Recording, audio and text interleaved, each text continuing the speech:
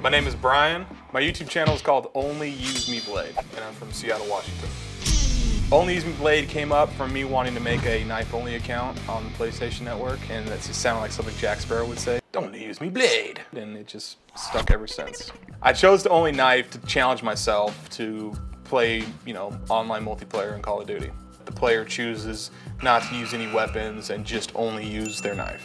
I've been on YouTube for a little over three years. The reason for me starting my YouTube channel was I wanted to relive my, my favorite moments. My coworker actually said, why don't you put these on YouTube so you can watch them from your computer at work? People started watching and then it just grew from there. I currently have a little over 500,000 subscribers and I have three videos with over a million views. Do you accept uh, YouTube money? But the video that dives deepest into my soul is actually uh, from a Sunday Chill commentary and it's called Soul Pouring. If I got that, I've talked about Peter Pan syndrome. I got Peter Pan syndrome like, mother I want to be a kid forever. I think everyone wants to be a kid forever. You know, it's just, it's not realistic, but I don't want to, I don't want to be an adult. I knew that putting it out there, I was kind of putting a lot of emotions and a lot of things about me, but I shared it with my subscribers and people love it.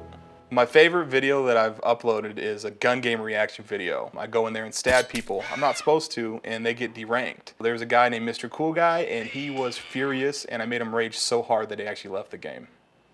Humiliation. Oh my god! No one likes you. You were adopted. Are you Quitting because that only use Blade guy is such a I think my channel is popular because people are interested in the knife only aspect of playing Call of Duty. But then once they're there, they realize that I'm just more of a chill, relaxed guy. When you come over to my channel, that you're entertained and you feel better when just once you leave. But one thing that my subscribers probably don't know about me is I have a fear of cotton balls cotton candy. Cotton shirts are fine, but like anything with that that fuzzy, I, I just can't deal with it. I don't go to fairs. I don't open up aspirin bottles. They just really freak me out. A lot of times people kind of want to test it out, and I'm a bigger dude, but I tend to act like a little girl and run away. I'm gonna be doing, at, oh my God, don't do that. Is that cotton? Fuck off. No, sorry, no, nope, nope, nope, nope, nope.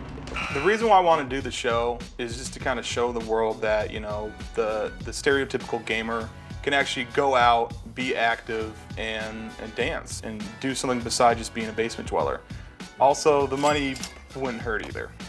The things that I think I'm going to excel at when it comes to the competition is my natural rhythm and my moves, uh, my upper body strength, because I'm going to be uh, tossing some girls in the air, I assume, and uh, overall just my hand-eye coordination all these annoying skinny people that naturally have dance talent, we hate them.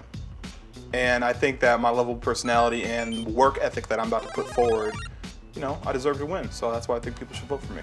Just want to say thank you for watching, and I hope you guys enjoyed. If you have any questions, just leave a comment below. And if you like what you saw, go ahead and subscribe. Only using Blade.